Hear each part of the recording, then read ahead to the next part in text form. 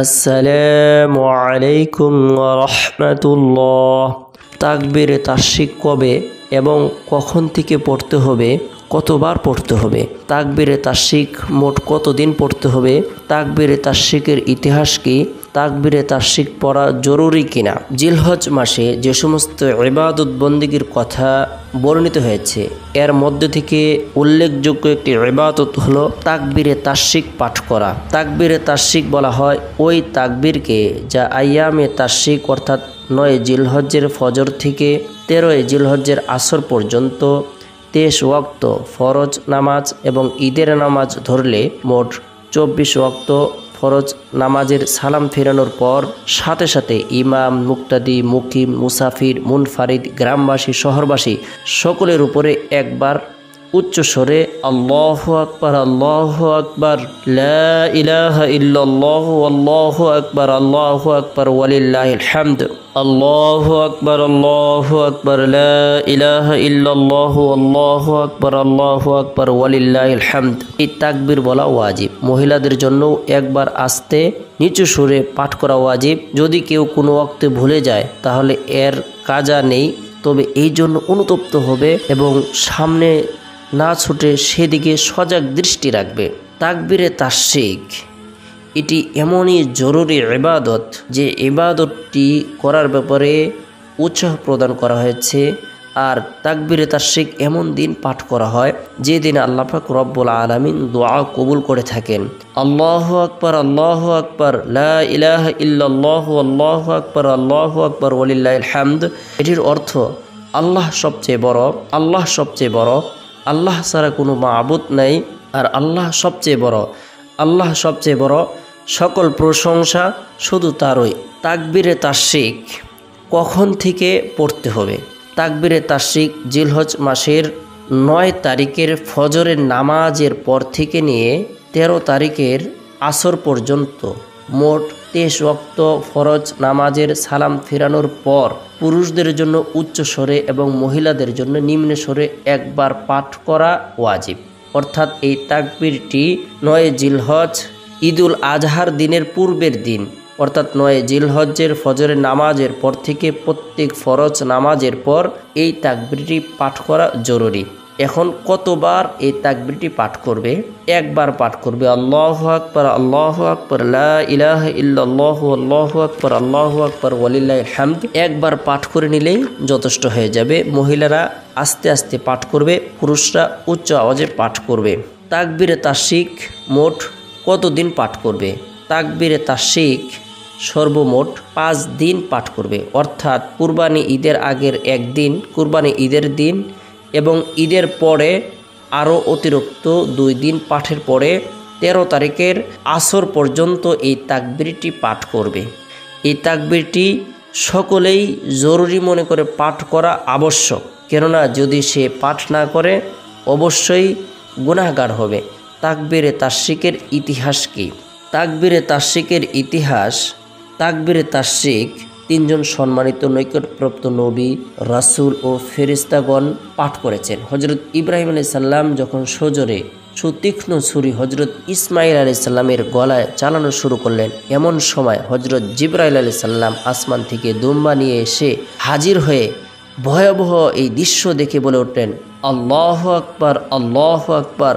হজরত ইব্রাহিম আলি সাল্লাম যখন আসমানি কুরবানি দেখলেন, তখন তিনি বলে উঠলেন, লা ইলাহ আল্লাহ আকবার।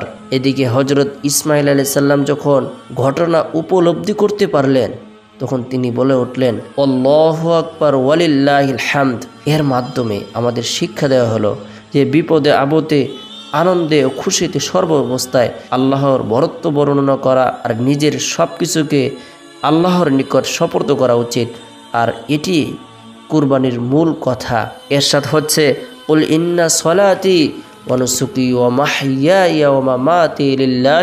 আলামিন। নিশ্চয় আমার নামাজ, আমার কুরবানি, আমার জীবন, আমার মরণ সবই রব্বুল আলামিনের সন্তুষ্টির জন্য সুর আম আয়াত একশত বাষট্টি। আল্লাপাক রব্বুল আলমিনকে রাজি খুশি করার উদ্দেশ্যে প্রত্যেকে আমরা সকল এবাদত বন্দিকে করব, অর্থাৎ নামাজ, রোজা, জিকির তাসবি তাহলিল যত এবাদত বন্দিকে রয়েছে সব কিছু আল্লাহ তালাকে রাজি খুশি করার উদ্দেশ্যে। হজরত আবদুল্লাহ ইবনে মাসউদ রাজি আল্লাহ তালন থেকে বর্ণিত হজরত নবী করিম সাল্লাহ আলি সাল্লাম এরশাদ করেন, আল্লাহ তাআলা বেছে নিয়েছেন চারটি দিন, চারটি মাস চারটি স্ত্রীলোক চারজন লোক সবার আগে জান্নাতে যাবে এবং জান্নাতে চার ব্যক্তির প্রতি আগ্রহী। চারটি দিনের প্রথমটি হলো জুমার দিন। এতে এমন একটি মুহূর্ত রয়েছে, ঠিক তখনই কোনো মুসলমান আল্লাহ তালা নিকট দোয়া ও আখেরাতের যা কিছু প্রার্থনা করবে, আল্লাহ তালা তাই তাকে দান করবেন। দ্বিতীয় হলো আরাফার দিন। আরাফার দিন এলে আল্লাহ তালা ফেরিস্তাদের সামনে গর্ব করেন। তিনি বলেন, আমার ফেরিস্তারা তোমরা আমার বান্দাদেরকে দেখো। তারা এসেছে এলোমেলো চুল আর ধুলুমিলুন চেহারা নিয়ে। তারা ব্যর্থ, তারা অর্থ ব্যয় করেছে আর দেহের কষ্ট স্বীকার করেছে। তোমরা সাক্ষী থাকো, আমি তাদের ক্ষমা করে দিলাম। দ্বিতীয় ঈদুল আজহার দিন।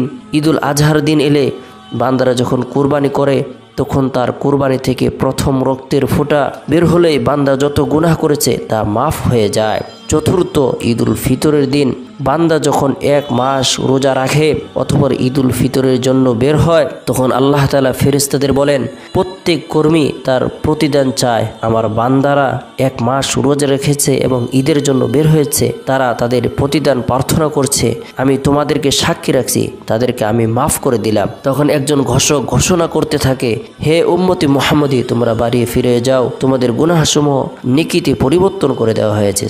সুবাহান আল্লাহ অর্থাৎ আল্লাহাক রব্বুল আলমিনের কাছে সৃষ্ট যে সমস্ত দিন রয়েছে এর মধ্যে উল্লেখযোগ্য, গ্রহণযোগ্য একটি দিন হলো আরাফার দিন। অর্থাৎ যেই দিন তাকবিরে তার্শিক পাঠ করা হয়ে থাকে। এদিন আল্লাপাক রব্বুল আলমিন অসংখ্য অগণিত নারী পুরুষদেরকে জাহান নাম থেকে মুক্তি দিয়ে থাকেন, অসংখ্য অগণিত নারী পুরুষদেরকে ক্ষমা করে থাকেন, অসংখ্য অগণিত মুমিন মুসলমানদের মর্যাদাকে বৃদ্ধি করে দিয়ে থাকেন, তাদের দোয়াকে কবুল করে থাকেন, তারা যা কিছু প্রার্থনা করে আল্লাহ তালা তাই গ্রহণ করে থাকেন। তাই আমরা প্রত্যেকে আইয়ামে তার্শিক পাঠ করব, নিজে পাঠ করব, পরিবার পরিজনদেরকে পাঠ করার ব্যাপারে উৎসাহ প্রদান করব।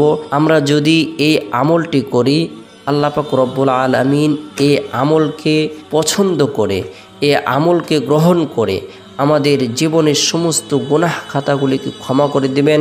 আল্লাহ পাক রব্বুল আলমিন আমাদের মর্যাদাকে বৃদ্ধি করে দিবেন। আর আমরা গুরুত্বপূর্ণ একটি বিধান পালন করার কারণে আল্লাহ পাক রব্বুল আলমিন আমাদের উপর রাজি এবং খুশি হয়ে যাবেন। আরাফার ময়দানে আল্লাহ পাক রব্বুল আলমিন অসংখ্য অগণিত হাজি সাহেবদেরকে মাফ করে দিবেন। আল্লাহ তালা আমাদেরকেও তাদের তালিকাভুক্ত করে দিবেন। যদি আমরা একাগ্রতার সাথে মনে প্রাণে বিশ্বাস রেখে আল্লাহ তালার বরত্বকে স্বীকার করি, আল্লাহ তালার প্রশংসা করি, আল্লাহ পাক রব্বুল আলমিন অবশ্যই আমাদেরকে ক্ষমা করে দিবেন। আল্লাহ পাক